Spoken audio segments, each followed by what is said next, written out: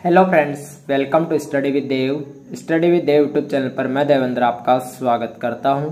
दोस्तों, आपने अभी तक study with Dev YouTube channel को सब्सक्राइब नहीं कर रखा है तो सब्सक्राइब कर लीजिए और साथ में बेल आइकन बटन ज़रूर ऑन कर लीजिए, ताकि जब भी नर्सिंग फार्मेसी और पैरामेडिकल से जुड़ी हुई कोई भी नई अपडेट आती है तो सबसे पहले आपको नोटिफिकेशन मिल जाएगा। दोस्तों, आज के इस वीडियो में हम बात करेंगे R H S B S C nursing entrance exam 2021 से जुड़ी हुई सारी जानकारी मैं आपको इस वीडियो में देने वाला हूँ। फॉर्म कब आएँगे, क्या योग्यता रहेगी आपकी, किस प्रकार से आपका एडमिशन होगा, फॉर्म फ़ीस क्या रहेगी, इन सब के बारे में आपको बताने वाला हूँ।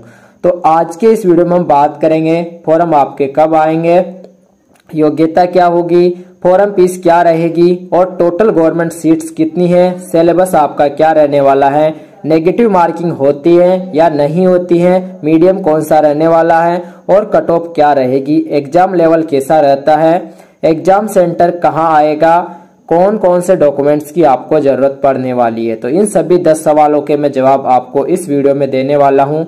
तो वीडियो एंड तक सभी स्टूडेंट्स ज़रूर देखना और आप सभी को अच्छा लगे लाइक ज़रूर करना। इससे पहले मैं आपको बता दूँ, आप सभी के लिए इस चैनल पर डेली का डेली टास्क यानी डेली का स्टडी प्लान प्रोवाइड करवाया जाता है, पब्लिश किया जाता है, उस प्लान को देखकर आपको डेली पढ़ना होता है। अगर आप उस प्लान से डेली पढ़ते हो तो आपको 100 परसेंट हंड्रेड वन परसेंट आपको सिलेक्शन मिलेगा।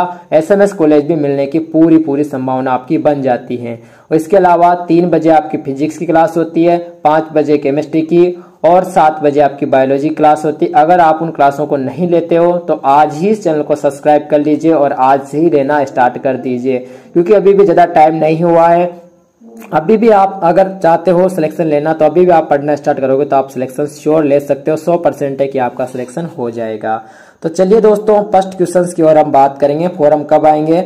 उससे पहले कुछ इंपॉर्टेंट बात बीएससी नर्सिंग आप सभी को पता है, एक चार साल का कोर्स जो होता है, इसमें आपकी इंटर्नशिप भी इंक्लूड होती है। कितने साल का? चार साल का कोर्स जो होता है, और एक डिग्री कोर्स है इस बीएससी नर्सिंग करने के बाद आप जिस तरह से नर्सिंग स्टाफ नर्स का एग्ज़ाम तो दे पाओगे, इसके साथ साथ आप आईएएस आईपीएस और आरएस इन सब का भी एग्ज़ाम दे सकते हो। यानी कि जो यूनियन पब्लिक सर्विस कमीशन होता है सभी के भी एग्ज़ाम आप दे सकते हो। मतलब आप ग्रेजुएट हो जाते हो, लेकिन जीएनएम करने के बाद आपको ग्रेजुएशन यानी कि डिग्री नहीं मिलती, वो एक डिप्लोमा कोर्सेज होता है। आरएचएस में बॉयज़ और गर्ल्स दोनों अप्लाई कर सकते हैं। जैसा कि आप सभी को पता है कि एम्स बी नर्सिंग में ओनली गर्ल्स ही अप्लाई कर सकती बॉयज़ अप्लाई नहीं कर सकते, लेकिन ऐसा आरएचएस में नहीं है। आरएचएस में बॉयज़ और गर्ल्स दोनों अप्लाई कर सकते हैं, ठीक है? बात करते हैं आरएचएस एकमात्र ऐसी यूनिवर्सिटी है, एकमात्र ऐसी यूनिवर्सिटी हेलो बच्चों, अगर आपको इंग्लिश बोलने में हिचकिचाहट होती है, अपने इंग्लिश इंटरव्यू की तैयारी करनी है, और फर्राटेदार अंग्रेज़ी बोलना चाहते हो तो आप सबके लिए एक गुड न्यूज़ डाउटनेट ऐप लाया है आप सबके लिए इंग्लिश स्पीकिंग कोर्स जहाँ इंग्लिश के टॉप टीचर्स आपको एकदम बेसिक से इंग्लिश बोलना सिखाएँगे, वो भी हिंदी भाषा में। यानी अब आप हमें से हर बच्चा अंग्रेज़ी बोल सकता है और साथ ही इस कोर्स के अंत में आप सबको सर्टिफिकेट भी दिया जाएगा। तो अभी जाइए और डाउटनेट ऐप पर यह कोर्स खरीदिए और अपने अंग्रेज़ी बोलने के सपने को पूरा कीजिए। पूरे भारत में सबसे बढ़िया दाम और इतना टॉप क्वालिटी का कोर्स सिर्फ़ डाउटनेट पर मिलेगा। कोर्स का लिंक डिस्क्रिप्शन में। सीटी है जिसमें ऑल इंडिया कैंडिडेट फॉर्म भर सकते हैं ऑल इंडिया के स्टूडेंट्स फॉर्म भर सकते हैं और प्रवेश भी लेते हैं। आप सभी को पता होगा कि जैसे कि कुछ सेंटर की यूनिवर्सिटी होती है, जैसे कि बीएचयू बीएचयू हो गया और आपकी कौन सी अदर अदर यूनिवर्सिटियाँ हर स्टेट में ऐसा नहीं होता कि वहाँ ऑल इंडिया कैंडिडेट अप्लाई कर सकते। जैसे कि यूपी में ऑल इंडिया कैंडिडेट अप्लाई नहीं कर सकते एमपी में नहीं कर सकते, लेकिन राजस्थान की आरएचएस यूनिवर्सिटी ऐसी है अकेले एकमात्र, जिसमें ऑल इंडिया के स्टूडेंट्स फॉर्म अप्लाई करते हैं और उन सभी के लिए 15 परसेंट सीट्स रिज़र्व होती हैं। ऑल इंडिया कैंडिडेट्स के लिए 15 परसेंट सीट्स राजस्थान में रिज़र्व रहती हैं। ठीक है दोस्तों, ये बात आपको ध्यान रखनी है। आगे चलते अगर आप अदर स्टेट के कैंडिडेट हो तो ज़रूर आरएचएस के लिए तैयारी करना स्टार्ट कर दीजिए। आप सभी को मौका मिलने वाला है। अगला अगला आपका फ़र्स्ट क्वेश्चन आपका आता है कि फोरम कब आएँगे? तो दोस्तों, जैसा कि आप सभी का सबसे बड़ा और सबसे चुनिंदा क्वेश्चन यही बन रहा है कि आरएचएस एप्लीकेशन फोरम कब आएँगे? तो 15 नवंबर से तक आपके एप्लीकेशन फॉर्म कंफर्म आ जाएँगे क्योंकि आपके एप्लीकेशन फॉर्म रेडी हो चुके बस डिले किया जा रहा है तो आरएचएस का कुछ पर्सनल रीजन है जो सीएचओ वाला है। मैं कई बार बता चुका हूँ, आज ही नहीं, कई दिनों से बता रहा हूँ, क्योंकि आरएचएस उस सीएचओ वाले जो ट्रेनिंग पीरियड है, उस ट्रेनिंग वाले को कंप्लीट करवाना चाहता है। उसकी जो भी डॉक्यूमेंट प्रोसेस है, उन सबको प्रोसेस को कंप्लीट करवा के उन सभी की ट्रेनिंग मार्च से पहले करवानी होगी, नहीं तो अगर आरएचएस ऐसा नहीं करता है तो आरएचएस को फाइन भरना होगा गवर्नमेंट के लिए, राजस्थान गवर्नमेंट के लिए फाइन भरना होगा, लेकिन आरएचएस नहीं चाहता कि वो फाइन भरे, इसलिए वो पहले सीएचओ पर ध्यान दे रहा है, ठीक है? फॉरम कब आएँगे? आप सभी को जैसा कि पता है कि आपके फॉरम लास्ट ईयर 14 अक्टूबर को आ गए थे, लेकिन इस साल अभी तक आपके फॉरम नहीं आए। आपको हम बता दें कि आपके जो एप्लीकेशन फॉर्म है वो अगले चार से पाँच दिन में आ, आ जाएँगे। यानी कि आप मानकर चलो पंद्रह नवंबर तक आपके फॉर्म आ जाएँगे। कितने तारीख तक? पंद्रह नवंबर तक आपके फॉर्म आ जाएँगे। और ये इसका जो कारण है कि इतने लेट क्यों हुए तो आप कारण भी देख सकते हो। फॉर्म लेट होने का कारण है R H S new course चालू किया सी एच ओ यानी कि कम्युनिटी हेल्थ ऑफिसर का जो कोर्स है जो उसकी ट्रेनिंग का जिम्मा भी आर एच एस ने अपने ऊपर ले लिया है। इस वजह से आर एच एस पूरा डिपार्टमेंट आर एच एस पूरी तरह से उन सी एच ओ कैंडिडेट्स को, जो कम्युनिटी हेल्थ ऑफिसर्स हैं, उन सभी को सेटल करने में लगा हुआ है, यानी कि जो उनकी कॉलेज है, उनके लिए हॉस्टल किस प्रकार प्रोवाइड करवाना है, उनको हॉस्टल देना है या उनको पैसे देने हैं रहने के लिए, किस प्रकार से ट्रेनिंग पीरियड में, किस प्रकार उनको संभालना है, उस चीज़ के ऊपर अभी आरएचएस लगा हुआ है, लेकिन उन सभी की प्रोसेस कंप्लीट हो चुकी है। उनके लिए आरएचएस ने एप्लीकेशन फॉर्म निकाल दिया है कि आप सभी इस फॉरम में अपने डिटेल्स भरकर हमें मेल कर दीजिए। उन्होंने 11 तारीख शायद दी हुई है 11 तारीख तक उनका वो काम कंप्लीट हो जाएगा। तो इस वजह से आपके फॉर्म अब जल्द आने वाले हैं। अब इसमें क्या है? जिसकी ट्रेनिंग आरएचएस यानी कि सीएचओ की ट्रेनिंग आरएचएस को मार्च 2022 तक पूरी करवानी यानी इकतीस मार्च 2022 तक उनकी ट्रेनिंग करवाकर उनका एग्ज़ाम कंप्लीट करवाना है। इसलिए आरएचएस पहले उसमें थोड़ा बिज़ी था, लेकिन अब आपके फॉर्म उनसे फ्री हो गया है। अब आपके फॉर्म आने वाले हैं, क्योंकि उनकी जो ट्रेनिंग नहीं करवाता अगर आरएचएस तो गवर्नमेंट से गवर्नमेंट से एग्रीमेंट हुआ है कि जिस प्रकार सीएचओ पाँच साल के एग्रीमेंट पे रहेगा, उसी प्रकार आरएचएस का भी एग्रीमेंट हुआ है कि यूनिवर्सिटी पाँच मतलब मार्च से पहले, इकतीस मार्च से पहले नया बजट नया बजट आने से पहले पहले उनको क्या करना है? उनको सीएचओ वालों को उनको ज्वाइनिंग देनी, यानी कि उनकी जो ट्रेनिंग वो कंप्लीट करवा के उनकी ज्वाइनिंग प्रोवाइड करवानी, इसलिए जल्दी से जल्दी उनका कोर्स कंप्लीट करवाने में लगा हुआ है। इसलिए थोड़ा बिज़ी था, लेकिन अब फॉर्म आ जाएँगे जल्द। आगे हम बात करते हैं योग्यता क्या रहेगी? तो R H S B nursing के लिए योग्यता आपकी जो रहने वाली है, सबसे पहले अपन एज की बात करते हैं तो एज इकतीस दिसंबर 2021 तक आपकी अगर मेल कैंडिडेट हो तो आपकी एज 17 ईयर से 25 यानी कि 17 ईयर से 25 ईयर के बीच में होनी चाहिए। और अगर आप फीमेल कैंडिडेट हो तो आपकी एज 25 की जगह 28 ईयर होगी, तब भी आप इसके लिए एलिजिबल होंगे। ठीक है? बात करते एजुकेशन क्वालिफिकेशन तो एजुकेशन क्वालिफिकेशन आपकी रहेगी ten plus two medical group, physics, chemistry, biology, और इसके साथ साथ इंग्लिश सब्जेक्ट आपके पास कंपल्सरी होना ज़रूरी है, ठीक है? ट्वेल्थ पास और मेडिकल ग्रुप में फिजिक्स, केमिस्ट्री, बायोलॉजी, इनके साथ इंग्लिश सब्जेक्ट आपका कंपल्सरी होना ज़रूरी है।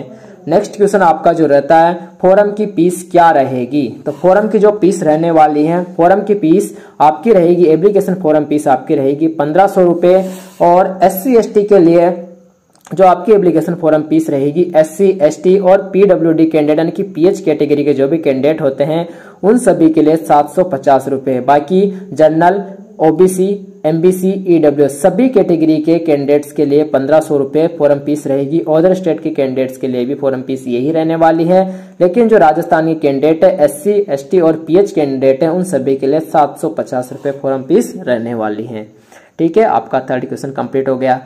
अगला क्वेश्चन आपका बनता है कि टोटल कितनी सीट है? टोटल गवर्नमेंट सीट सीट कितनी है? तो आप सभी को मैं बता दूँ कि राजस्थान में टोटल जो नर्सिंग कॉलेज है प्राइवेट और गवर्नमेंट मिला के, ए वन सिक्स टू यानी कि एक सौ बासठ plus government private and government nursing college है। Total government college sorry total nursing college एक सौ बासठ प्लस है। इनमें से जो आपकी टोटल गवर्नमेंट सीट रहने वाली है, वो टोटल गवर्नमेंट सीट है आपकी 728 कितने सीट्स हैं? 728 बाकी जो total fully government nursing college है फुल्ली गवर्नमेंट कॉलेज है, वो एकमात्र फुल्ली गवर्नमेंट कॉलेज है, जो है आपका एसएमएस जो जयपुर में स्टेब्लिश है। इसके अलावा बाकी जो सेमी गवर्नमेंट कॉलेज है नौ गवर्नमेंट कॉलेजेस हैं जो सेमी गवर्नमेंट कॉलेज है, जिनमें आपको कुछ ना कुछ पेमेंट पे करना होता है, वो डिपेंड करता है आपकी कैटेगरी के ऊपर। अगर आप OBC general OBC general EWS और एमबीसी कैटेगरी के मेल कैंडिडेट हो तो आपको इक्यावन हज़ार रुपए फ़र्स्ट ईयर फ़ीस रहेगी उन नौ कॉलेजों में। बाकी एससी एसटी के मेल या फीमेल कैंडिडेट हो तो आपको इक्कीस हज़ार रुपये फ़र्स्ट ईयर की फ़ीस रहेगी।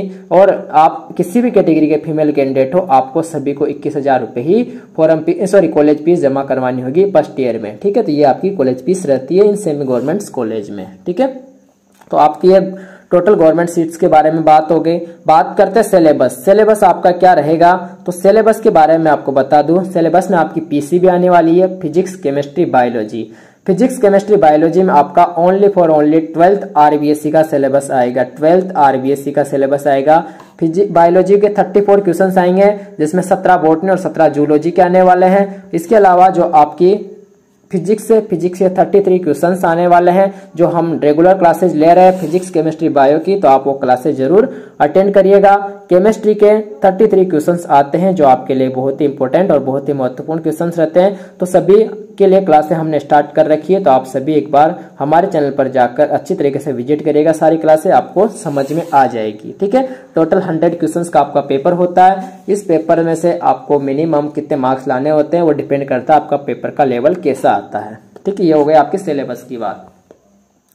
आगे हम बात करते हैं इसमें नेगेटिव मार्किंग होती है या नहीं होती, इसका पेपर मीडियम कौन सा होता है? तो आपको बता दूँ, जो आपका पेपर होता है पेपर में कोई नेगेटिव मार्किंग नहीं होती no negative marking in RHS nursing entrance exam यानी कि आपके आरएचएस नर्सिंग एंट्रेंस एग्ज़ाम में आपकी कोई भी नेगेटिव मार्किंग नहीं होती। पेपर का जो मीडियम रहता है पेपर इंग्लिश और हिंदी दोनों मीडियम में होता है। पेपर मीडियम इंग्लिश और हिंदी दोनों मीडियम में होता है। ठीक है दोस्तों, ये भी आपको ध्यान रखना है कि जो आपका पेपर होगा, वो हिंदी और इंग्लिश दोनों मीडियम में होने वाला है। अगला क्वेश्चन कट ऑफ़ क्या रहेगी? तो दोस्तों, अगर आप सभी ये चीज़ जानना चाहते हो तो आप चैनल को ज़रूर सब्सक्राइब कर लीजिएगा, क्योंकि आपको हर अपडेट यहाँ मिलेगी और हर जानकारी आपको, बिल्कुल ऑफिशियल जानकारी आपको प्रूफ के साथ मिलती रहती। हम बात करते हैं कट ऑफ़ की। तो कट ऑफ़ क्या रहेगी? तो इस, इसका पेपर से पहले कोई भी अंदाज़ा नहीं लगाया जा सकता, क्योंकि ये पेपर के लेवल पर निर्भर करती है और स्टूडेंट्स की उपस्थिति पर निर्भर करती है। यानी कि कट ऑफ़ का कोई भी अंदाज़ा नहीं लगाया जा सकता, क्योंकि जो आपकी कट ऑफ़ होती है वो एक तो पेपर का लेवल किस प्रकार आता है? पेपर के लेवल पर डिपेंड करती है और स्टूडेंट्स की उपस्थिति पर डिपेंड करती है कि कितने स्टूडेंट्स उपस्थित हो रहे हैं, कितने नहीं हो रहे, कितने फॉर्म भरे गए थे। उसके आधार पर डिपेंड करती है इसको ऐसे डिफाइंड नहीं किया जा सकता। फिर भी आप मानकर चलिए जनरल कैटेगरी का अकॉर्डिंग अगर आप जनरल कैटेगरी से बिलोंग करते हो, या इस जनरल जनरल कैटेगरी का अकॉर्डिंग आप अपनी कट ऑफ़ देख सकते हो। एक, दो, तीन तीन मार्क्स कम करके कट कैटेगरी वाइज आपको इतना तो अंदाज़ा होगा इसे। फिर आपको बता, फिर भी आपको बता दूँ कि जनरल की कट ऑफ़ लगभग 69 प्लस रहेगी, यानी कितनी रहेगी? 69 प्लस रहेगी किसी भी सेमी गवर्नमेंट कॉलेज चाहे सेमी गवर्नमेंट कॉलेज, झालावाड़ हो, चाहे कोई सा हो, किसी न किसी के लिए जनरल की जो कट ऑफ़ रहने वाली है, वो 69 प्लस ही रहेगी। इससे कम नंबर वाले का जनरल वाले का सिलेक्शन मुश्किल लग रहा है, बहुत ही मुश्किल लग रहा है। फिर भी अगर उनकी किस्मत अच्छी हो तो अगर पेपर थोड़ा सा मॉडरेट लेवल का आ जाता है तो कट ऑफ़ डाउन होकर सिक्सटी या सिक्सटी के आसपास भी आ सकती है। तो थोड़ा सा पेपर के बाद ही आपको कन्फर्म बता पाएँगे। लेकिन ये एक एक्सपेक्टेड यानी कि लगभग इसको मान सकते हैं अपन, ठीक है? आपको इतनी तैयारी करके चलना होगा। अगला क्वेश्चन आपका होता है कि एग्ज़ाम का लेवल कैसा रहता है? तो एग्ज़ाम का जो लेवल आता है दोस्तों, हर साल एग्ज़ाम का लेवल आपका इजी टू मॉडरेट लेवल आता है। कैसा आता है? इजी टू मॉडरेट लेवल ही आता है। मतलब इजी या तो बहुत इजी आ जाएगा या बहुत हार्ड बिल कभी भी नहीं आएगा मॉडरेट लेवल से ज़्यादा आगे नहीं जाएगा। मतलब 20 10 20 परसेंट मॉडरेट हो सकता है, लेकिन इससे ज़्यादा मॉडरेट नहीं हो सकता। तो इजी टू मॉडरेट आपका पेपर का लेवल रहता है। ठीक है? आपके आगे बात करते हैं। एग्ज़ाम सेंटर कहाँ आएगा? तो एग्ज़ाम सेंटर के बारे में बता दो, एग्ज़ाम सेंटर आपका कहाँ आएगा? तो एवरी ईयर जयपुर में ही आता है। यानी कि हर साल, आज से नहीं 2013 से ही 2019 तक 2013 से 2019 तक आपका जो एंट्रेंस एग्ज़ाम का जो सेंटर आया है, वो जयपुर में ही आया। लेकिन अपवाद स्वरूप, यानी कि हर चीज़ में अपवाद होता है तो अपवाद स्वरूप 2020 में आपका जो एंट्रेंस एग्ज़ाम हुआ था, वो हर संभाग में हो गया था। यानी कि लास्ट ईयर 2020 में हर संभाग में एंट्रेंस एग्ज़ाम का सेंटर आया था। हो तो आया था तो हो सकता है इस बार भी जयपुर से बाहर आपके आसपास वाले ज़िले में आ जाए, क्योंकि आरएचएस ने हर जगह सेंटर डालने की कोशिश की। अगर उनका आरएचएस का जो पिछले साल वाला जो सेंटर डालने का जो प्लान था, वो अगर सफल रहा होगा तो हो सकता है इस बार आरएचएस हर डिस्ट हर डिस्ट्रिक्ट में या हर संभाग में आपका, आपके आसपास वाले ज़िले में सेंटर डाल दे। तो देखते हैं वो नोटिफिकेशन के ऊपर डिपेंड करता है कहाँ कहाँ आर सेंटर अपने रखना चाहता है, कहाँ कहाँ नहीं रखना चाहता। बाकी वो डिपेंड करेगा आरएचएस ठीक है? अगला बात करते हैं अपन कौन कौन से डॉक्यूमेंट्स की आपको ज़रूरत पड़ने वाली है? ज़रूरत पड़ने वाली डॉक्यूमेंट्स की वो कौन कौन से हैं? आपको अभी कोई डॉक्यूमेंट्स की ज़रूरत नहीं पड़ेगी, आपके पास अभी होना चाहिए। आपका कास्ट सर्टिफिकेट मूल निवास, इनकी ज़रूरत नहीं पड़ेगी। अगर नहीं भी है तो कोई ज़रूरी नहीं है, लेकिन टेंथ की मार्कशीट ट्वेल्थ की मार्कशीट और आधार कार्ड और फ़ोटो आपके पास हो, इतना काफ़ी है। बस इन चार चीज़ों के से आप अपना फॉर्म भर सकते हो। लेकिन काउंसलिंग के टाइम पर आपको डॉक्यूमेंट्स की ज़रूरत पड़ेगी। वो ये है कास्ट सर्टिफिकेट ओबीसी और एमबीसी कैटेगरी के लिए या ईडब्ल्यूएस कैटेगरी के लिए एक साल से पुराना नहीं होना चाहिए। कास्ट सर्टिफिकेट ध्यान रखना। मूल निवास की ज़रूरत पड़ेगी। और एस सी वालों के लिए कास्ट सर्टिफिकेट कोई सा भी हो, चल जाएगा। कितना भी पुराना हो, चल जाता है। टेंथ, ट्वेल्थ की मार्कशीट। इसके अलावा टीसी आपकी होनी ज़रूरी है। माइग्रेशन आपका होना ज़रूरी है। आधार कार्ड, फ़ोटो और आप एफिडेविट जो बनते हैं, ये कॉलेज के द्वारा कॉलेज का हर कॉलेज का अलग फॉर्मेट होता है। उस कॉलेज में, उस फॉर्मेट के अकॉर्डिंग आपको एफिडेविट बनाने होते हैं। तो ये सारे डॉक्यूमेंट्स हैं जिनकी आपको ज़रूरत पड़ने वाली है। किसमें? आपके डॉक्यूमेंट्स या काउंसलिंग के टाइम पे आपको ज़रूरत पड़ती है। एक हेल्थ सर्टिफिकेट की भी आपको ज़रूरत पड़ती है। इनके साथ साथ आपका जो अलॉटमेंट लेटर आता है अलॉटमेंट लेटर को तो ज़रूर लाना ज़रूरी होता है। उसी के बाद आपका एडमिशन होता, हो पाता है। तो ये सारी प्रोसेस होती है सारे डॉक्यूमेंट्स होते हैं। ये सारी चीज़ें ये सारे एजुकेशन क्वालिफिकेशन ये कट ऑफ़ ये जो तरीके मैंने सारी चीज़ें आपको बताई, ये सारे जो दस क्वेश्चन थे, उनके बारे में मैंने आपको ये बताई तो ये सभी चीज़ें आपके पास होना ज़रूरी है, तभी आपका आरजीएस नर्सिंग एंट्रेंस एग्ज़ाम में एडमिशन हो पाएगा। आपको पेपर का भी ज्ञान होना चाहिए कि पेपर का लेवल कैसा आता है सेंटर कहाँ आता है। ये जो दस बड़े सवाल थे, इन दस बड़े सवालों का मैंने जवाब आपको इस वीडियो में दे दिया। तो दोस्तों, आपको ये क्या ये वीडियो समझ में आया, पसंद आया? अगर पसंद आया हो तो अभी लाइक करना और अपने सारे फ्रेंड्स में ज़रूर शेयर कर देना। देना। धन्यवाद।